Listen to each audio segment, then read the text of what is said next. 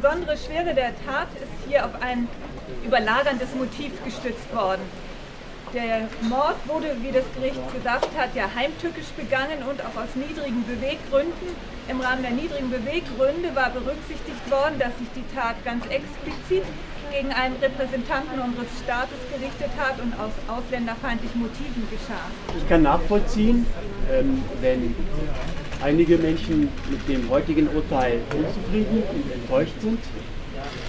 Ähm, unzureichende Ermittlungen der Bundesanwaltschaft hatten eine unzureichende Anklageschrift zufolge. Im Nachhinein muss man sagen, dass wahrscheinlich jeder Dorfscheriff besser ermittelt hätte. Die Verurteilung von Stefan E. wegen Mordes entspricht unseren Anträgen und unserer Erwartung.